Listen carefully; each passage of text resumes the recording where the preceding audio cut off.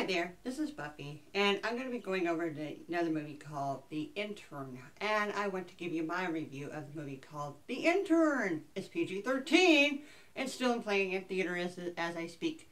And it might not be after a couple of few weeks from now.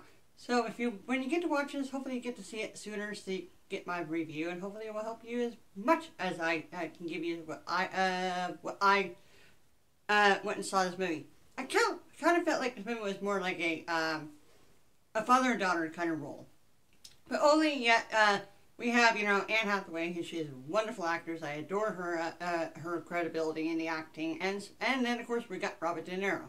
It's a whole other perspective. I'm not used to seeing him as that down to earth kind of guy. He's more of a yeah. I, he did really well in uh, Meet the Parents and and you know, in, the, in those uh, trilogy and that uh, kind of movie, and I just thought, oh, this is a whole different uh, side of view of him. And then I saw him in a movie called The Family, and uh, and then I seen Anne Hathaway, you know, in you know uh, The Princess Diary. I mean, we got you know meet the parents, meet the queen uh, of the well, the Princess of the Princess Diary. So I was like, okay, got this this great uh, combination that they put these two guys wonderful people together, and I just thought, okay, this is going to be a great movie.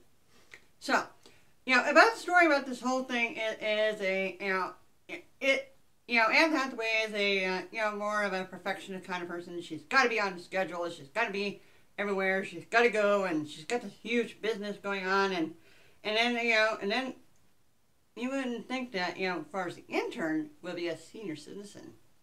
Well, you know, that would be Robert De Niro. He played that acting and he comes right in and he um you know looks for a job and he's gotten tired. I'll tell you one thing, and him as far as retirement goes, it does not work anymore. So I suggest um, watching you know this whole thing. I'm going okay, we got this guy. Kind of knows it all in the business, and then we got this girl who start uh, who starts her own business without much any help, and she's looking for CEO, and and then you know, she decided, oh, I don't think I could do this myself. I don't need them. And it's just more of a more of a willpower in this whole movie is about you know her being you know uh, she was more of like a boss type role, and you would think the older guy would be a, a guy who wants to be a boss kind of person, and you would look up to him. Well, it's kind of like the other way around, and you're gonna go look at him is now looking at her, the boss, and then you know it, it's like a role reversal kind of movie. And I kind of felt like Okay, there's a lot of huge point that you can feel right part of the scenes. You can feel the emotion of the actor and actress. And you can kind of sense that it is more of a, a story that, you know, they are best friends. But, you know, it in the long run, it looks like I would think it's a father and daughter kind of movie, you know. But even though they're not related, it's just that, you know, he's taking care of her, you know, making sure she he's watching out for her. And even though he is the intern. So he, you know, and then he comes, uh, and then she's like relying on him, and then she's, and it's a little piece part of the movie. You know, she did say that so uh, so and so. Isn't this where you're supposed to have a handkerchief for me? That I'm starting to cry, you know, and I really, really, you know, and this is the time I need it because you don't have it. But Robert De Niro, who plays that you know, intern, uh, has one on uh, him and helps her out with that, and then she starts to see the point of view, the man role, that is a gentleman and that's what she's kind of starting to see a whole lot of difference. And this is why he's starting to fit right in. He, you know, and he just kind of gets a little bit more stuff done and for her, other than just being an intern. She, he starts doing more like a, you know, a friendship thing and a chauffeur and other things go along with the whole thing. So, I hope this uh, will help you. This movie, I give it about A minus because it has been a huge uh, a success kind of a point that kind of brought me into the story.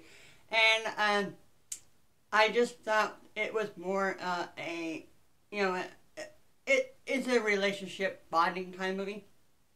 And it's just got more of a, you know, you can feel right into the whole character. And I just hope that everything I say to you is going to help you to be enticed to go see it as soon as you can.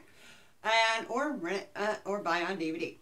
Uh, another thing is, um, you know, I, uh, I appreciate anything that comes my way. You know, comments, thank you, hit me right there and subscribe, please. I would love that uh, and delighted that you would be. And on top of that, uh, you can find me on Facebook, Instagram, and Twitter. Our favorite social networking has taken over of us, and and we just love it to the death. So, again, thank you all, and I will be talking about other more films coming out my way. So please watch for them. Thank you, and have a wonderful, splendid day, and please go see The Intern or buy it on DVD. Thank you. Bye bye.